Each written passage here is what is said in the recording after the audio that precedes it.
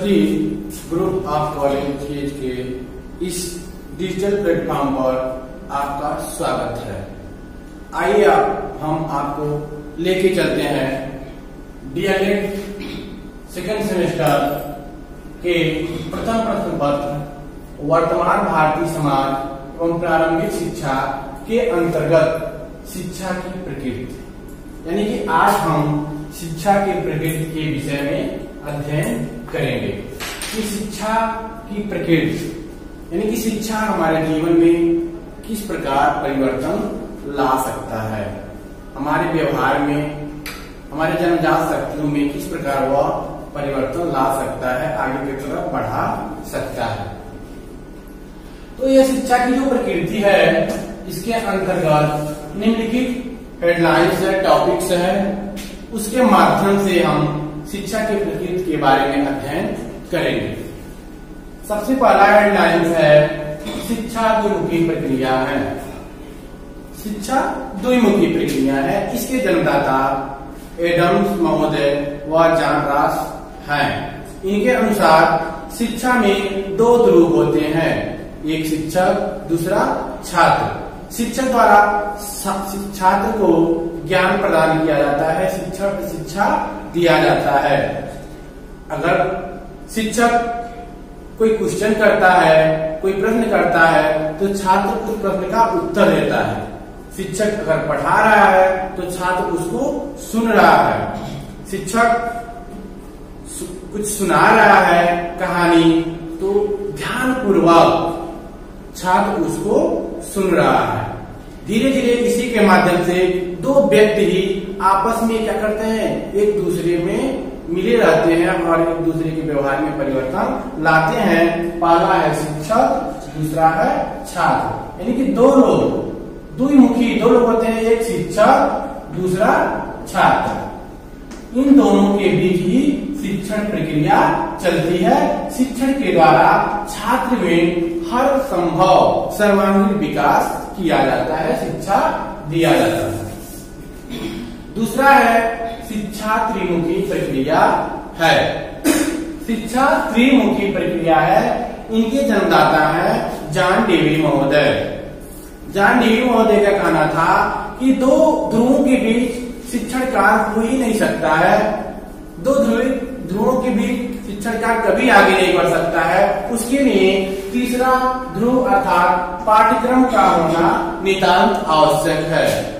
बिना पाठ्यक्रम को छात्र को क्या पढ़ाया जाएगा, यह जान देवी महोदय नहीं मानते थे। पाठ्यक्रम का मतलब ये नहीं कि वह, पाठ्यक्रम का मतलब यह नहीं कि वह केवल पुस्तकीय ज्ञान से है, ऐसा नहीं है।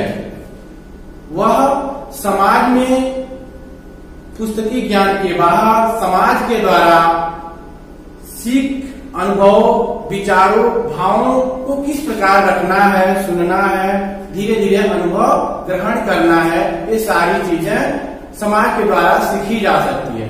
पाठ्यक्रम का मतलब ये नहीं कि केवल पुस्तक पुस्तकीय ज्ञान, यानी केवल पुस्तक से ही हम सीखेंगे, उसके अलावा समाज से, संस्थान से आस पड़ोस से भी हम सीख सकते हैं। तो यह कथन जान देवी महोदय का है।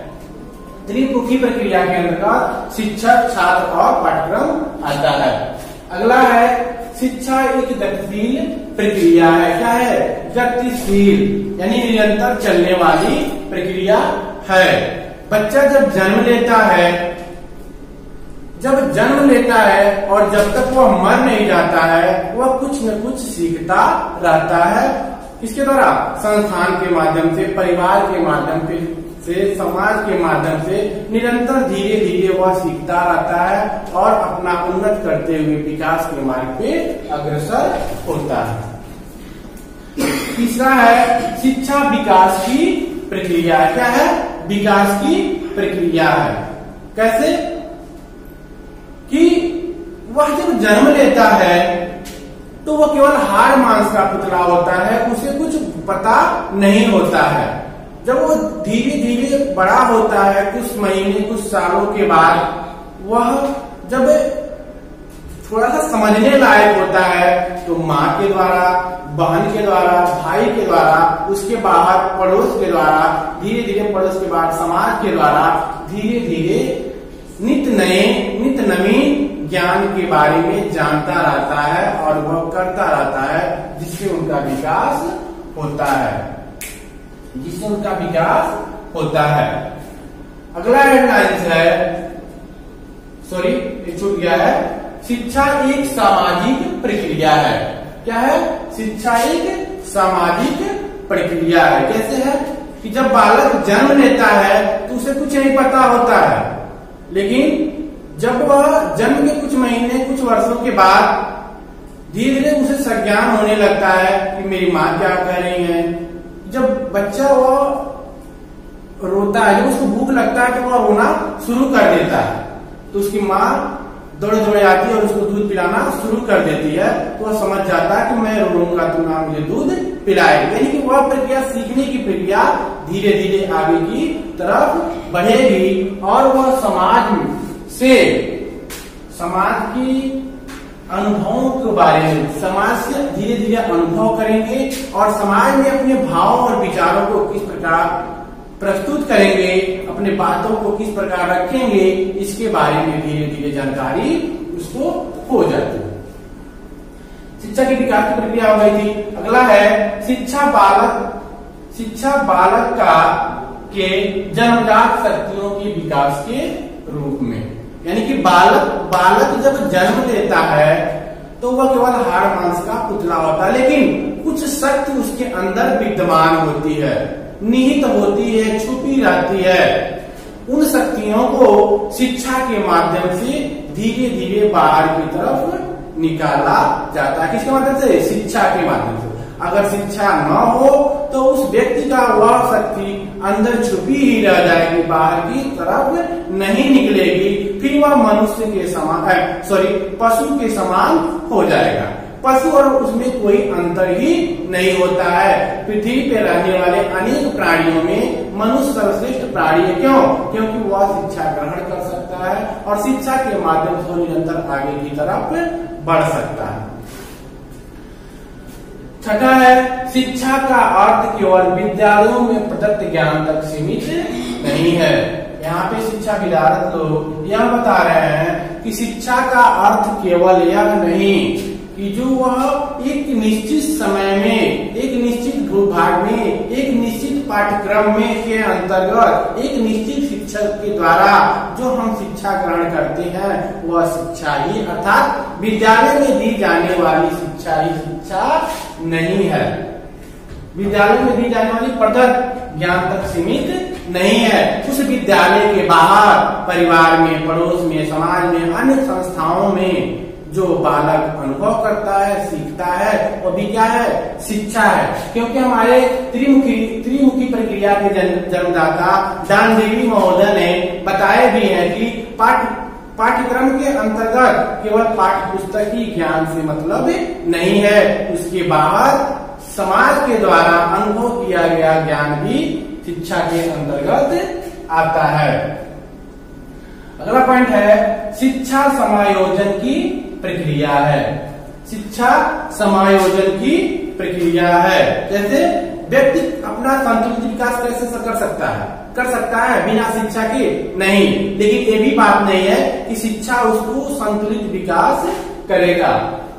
शिक्षा समायोजन की प्रक्रिया है कि वह समाज में अपने आप को कैसे समायोजित करें, कैसे मिलाएँ? समाज के अनुरूप अपने आप को कैसे ढालें? ये सारी चीज़ें शिक्षा के द्वारा ही बताया जाता है। अगर वह व्यक्ति शिक्षा के माध्यम से वो समाज में ढल जाता है तो वह निरंतर उन्नत और विकास की ओर अग्रसर रहेगा। अगर वह समाज में नहीं ढल पाता है तो वह समाज से दूर रहेगा और धीरे धीरे वह मानसिक रूप से ग्रसित हो जाएगा। बीमार हो जाएगा। तो उन मानसिक रूप से ग्रसित, उद्वेलित से बचाने के लिए शिक्षा ग्रहण अति आवश्यक है। शिक्षा के माध्यम से ही हम समाज में आसानी से अपने आप को समायोजन कर सकते हैं, मिला सकते हैं। अगला पॉइंट है, शिक्षा एक निर्देशन की प्रक्रिया है। क्या है? शिक्षा एक निर्देशन की प्रक्रिया है। निर्देशन मतलब मार्गदर्शन। क्या है? मार्गदर्शन कि हमें क्या करना है व्यवसायिक शिक्षा लेना है, कि साइंस की शिक्षा लेना है, कि आर्ट की शिक्षा लेना है, मुझे दक्षिण की तरफ़ जाना है, कि उत्तर की तरफ़ जाना है, ये सारे कौन निश्चित करता है? शिक्षा। अगर शिक्षा न हो तो मैं अपने जीवन रूपी मार्ग से क्या हो जाऊँगा? फटक जाऊँगा और मेरा जीवन व्यर्थ हो जाएगा। क्या हो जाएगा? व्यर्थ हो जाएगा। तो उसके लिए सबसे ज़रूरी यह है कि हमें शिक्षित होना। अगर हम शिक्षित रहेंगे तो हमें पता हो जाएगा कि हमें अपने जीवन को अच्छी, अच्छे से व्यतीत करने के लिए किस मार्ग को चुने और उस मार्ग पर चलते हुए अपने आप को उन्नत की तरफ़ ले जाकर अपना विकास करें और ये सारी प्रक्रिया शिक्षा के द्वारा ही हो सकती। लास्ट पॉइंट है, शिक्षा व्यवहार में परिवर्तन। क्या है? इन सारी प्रक्रियाओं के, इन सारे प्रकरणों के अंतर्गत के बाद भी शिक्षा क्या करता है? एक मनुष्य के व्यवहार में परिवर्तन लाता है। क्या है? पृथ्वी पे बहुत सारे प्राणी हैं, ठीक है? उन प्राणियों में सबसे श्रेष्ठ मनुष्य है। कैसे? वह शिक्षा के माध्यम से। मनुष्य जब बच्चे के रूप में जन्म लेता है तो वह सिर्फ़ हार, मांस का पुतला होता है। उसे कुछ नहीं पता होता है। अगर वह शिक्षा न प्राप्त करे शिक्षा ग्रहण न करे, शिक्षा न हो तो वह अन्य प्राणियों अर्थात पशु के समान व्यवहार करेगा। लेकिन जब वह शिक्षा ग्रहण कर लेता है तो उस पशु से ऊपर, यानी प्राणियों में सबसे एक नंबर का प्राणी, उत्तम प्राणी माना जाएगा।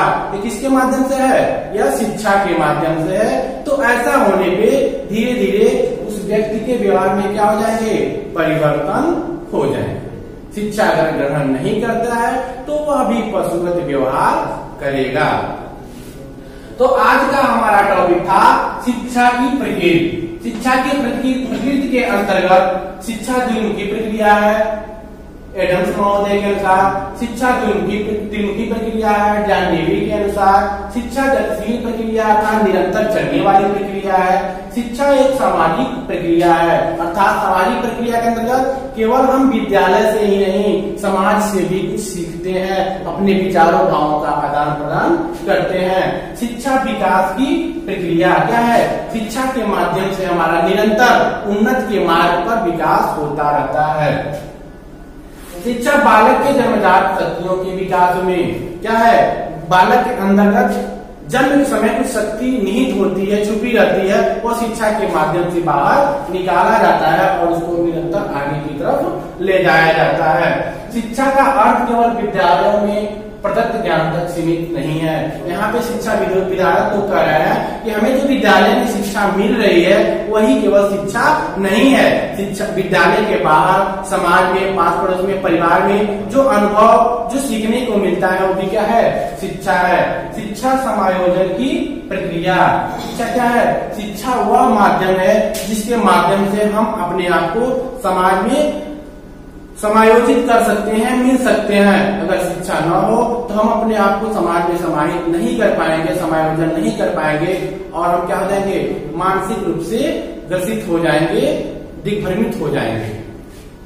शिक्षा एक निर्देशन की प्रक्रिया। शिक्षा हमें भी बताती है कि हमें अपने जीवन में सफल होने के लिए कौन सा मार्ग चुनना चाहिए। यह परामर्श कौन देती है? शिक्षा देती है। शिक्षा व्यवहार में परिवर्तन। और व्यक्ति जब जन्म लेता है तो उसके पास शिक्षा नहीं होती है, वो सीधा साधा हार मांस का पुतला है। तो शिक्षा के माध्यम से धीरे धीरे उस बच्चे को बड़ा होने की उम्र में, उनके व्यवहार में परिवर्तन लाता है। वह अन्य प्राणियों से श्रेष्ठ प्राणी बन जाता है। धन्यवाद, दोस्तों। आज का टॉपिक यही समाप्त हुआ।